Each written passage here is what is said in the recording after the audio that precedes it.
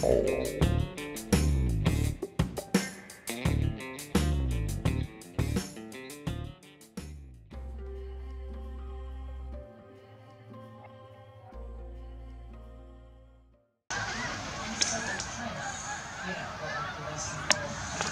there they are.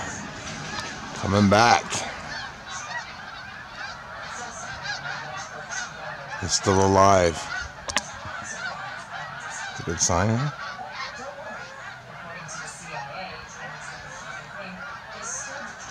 Probably about seven, eight, nine hundred of them. There's lots, there's still more coming.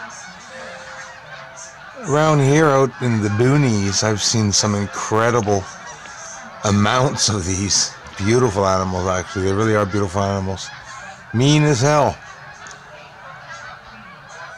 when they land boy they're mean don't go too close to them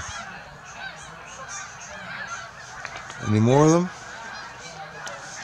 yeah there's more there actually hey welcome everyone bruce Swartz here from montreal quebec this is the moon uh, did you know uh, filmed on march 13th yesterday in the middle of the afternoon. Didn't get any with the telescope. I haven't gotten it in a while. I'm looking forward to getting it. Speaking of objects in space, how about the sun? We're going to see it both um, yesterday's sun and do a comparison with today's sun. Yesterday, windy as hell, excuse the expression.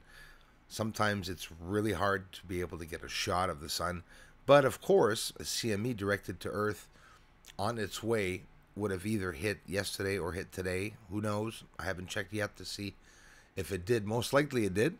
Top right there, plasma lifting up. Uh, very large sunspots, again, facing Earth. So this is um, March 13th, yesterday, and we're gonna, not too long. We'll see and jump right into March 14th, which was today, this morning. Again, a very windy day. Thanks for watching, everyone.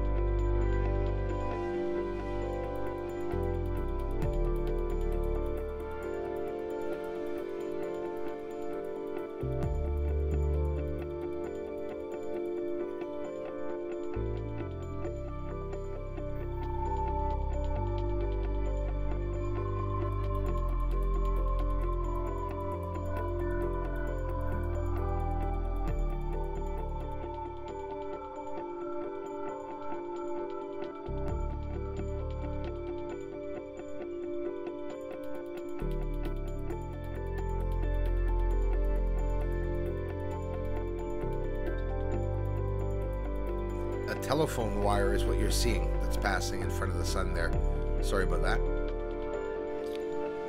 An unexpected eruption from an otherwise unimpressive sunspot region. Imagine the solar flare lasted for hours and launched an asymmetrical full halo coronal mass ejection into space.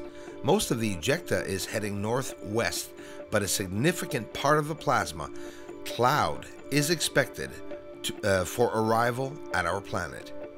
The coronal mass ejection was launched at a speed of about 600 kilometers per second, which is a fairly average speed. This puts the likely arrival time at Earth late on Sunday, uh, March 13th, they say. So, geomagnetic storm, uh, we would have um, received it yesterday, maybe a couple hours ago, March 13th. So we see it, it's similar to yesterday's sun. This is the 14th, still raging. Each of the areas are raging. The one on the left there, about to begin, top plasma. You can see on the top right there some spots that are there. Well, that's the plasma lifting up, and this big spot in the center. The one off to the right is honestly fairly large. So this is again after we received that coronal mass ejection and geomagnetic storm, which would have been yesterday. Um, this is the sun today. What happens if all that line and uh, they merge and become one big spot? Well, that's where it gets dangerous for solar eruptions. And I tend to think that we're not even seeing half of, maybe not even a quarter of what is about to come in the following months or years, because they say leading up to 2025, of course, that the sun's going to get a lot worse. We know that it's going to interact with the atmosphere and chemistry of the atmosphere of our Earth itself, and of course, weather. It's going to be crazy here as we have been seeing. Um, I did some more tests, zoomed in really close with the camera, uh, several um, millimeters out, probably about 16 mil, 100 millimeters out, maybe only 1500 millimeters out. Because, of course, when you grab the P900 and you zoom into the whole um, sun, well, it's going to have a hard time to focus. Of course, uh, you could do it many ways. You can manual focus it. It's just I didn't have the time to do so. Out in the wind, had to slow it down. Sometimes there's clouds, but here, even though there's a little bit of clouds, you could really see a good sun. It took me a while to get it this morning because it was really windy, extremely windy here, and this is before it's even under the wires. I had to get it very early because already they're announcing snow, but I, I don't know. I, we haven't seen it yet. Maybe it's tonight they could be announcing it. Could be after the radiation that we just had, of course. So this is uh, close up, a bit closer, and of course uh, filmed with the camera closer. There's uh, a limit, a limit, of course, of how close we can get, but we can still get close enough to see if there's any big um, CME right now. For example, we would see it very well. We would be able to see it very well. That's an impressive one on the right again facing Earth, and they're not small. So the region yesterday that caused the CME and geomagnetic storm to come to Earth, guys, very concerning, was a small area.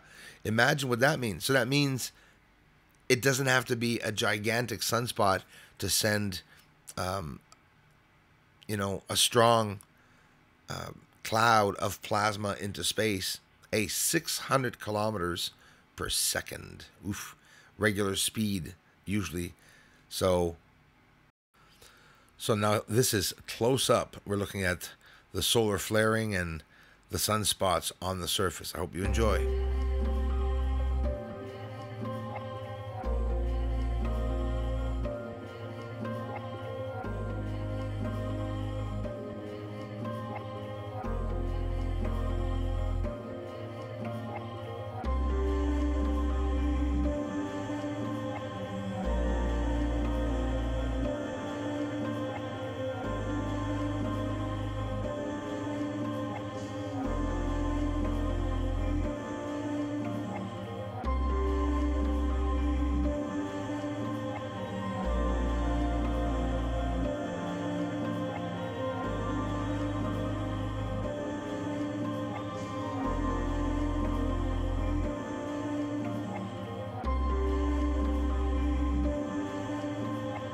They also say that some plasma, when ejected, can remain in the orbit of the sun.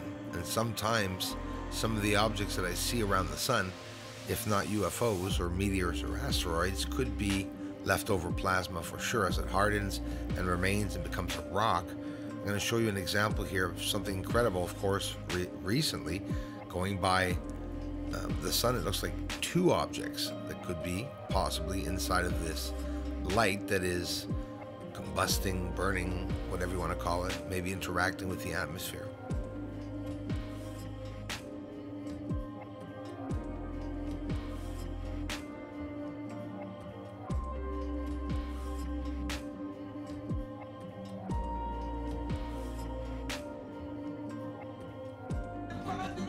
Up in belly,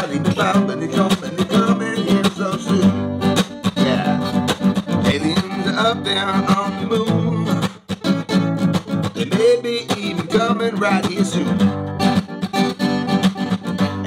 are mining on the moon, yes, they are up there. Doesn't matter, cause disclosure's coming soon.